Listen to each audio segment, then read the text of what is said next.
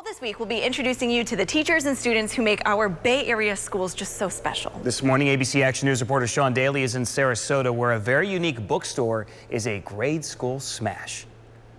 On Tuesdays and Thursdays at Tuttle Elementary in Sarasota, this is the place to be. Yeah, if I have a dollar, I could probably get a book.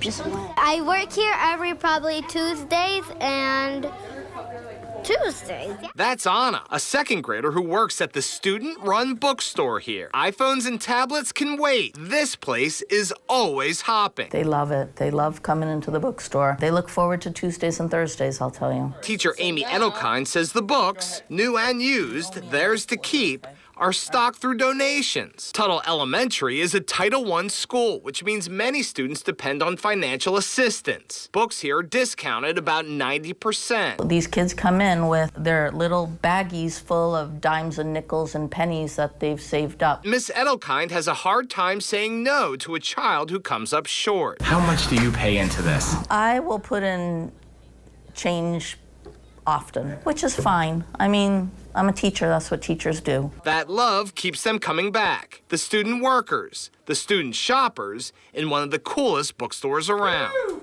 guys did a great job! In Sarasota, Sean Daly, ABC Action News. Sean seemed awfully comfortable on that really tiny chair he was sitting on. But what that teacher is doing to help those kids and make sure everyone gets books. That's Very terrific. sweet. And Very sweet. the cutest soundbite of the day, I work Tuesdays. Only Tuesdays. and Tuesdays.